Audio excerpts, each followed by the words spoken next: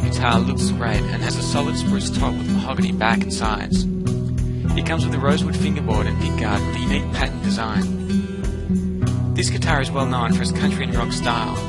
It was brought into prominence by the legendary Rolling Stones player Keith Richards, who used the guitar in some of his early pieces, such as Play with Fire and Satisfaction.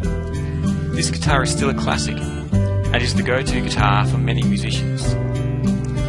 Hummingbird has a balanced tone and sweet sound. It features the Shadow E-Performer preamp and a NanoFlex pickup system that is good enough to be played at home or on a stage in front of thousands of people.